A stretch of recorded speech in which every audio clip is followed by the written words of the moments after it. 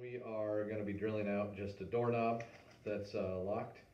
Um, and for this, we're gonna drill just above where the key goes. So we did it in this guy. Um, and what we're trying to do is uh, get all the pins that are in there to fall down out of place. And you can see all the pins in here and we're just trying to basically deactivate that.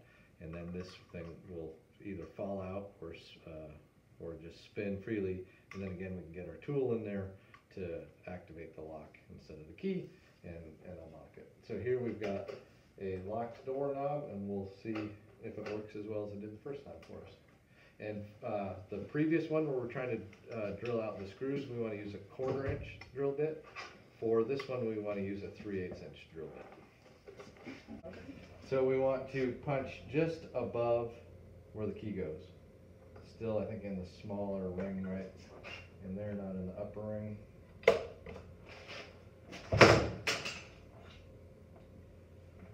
Proper safety apparel. You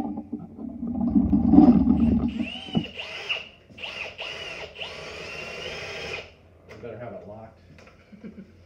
Try before you pry.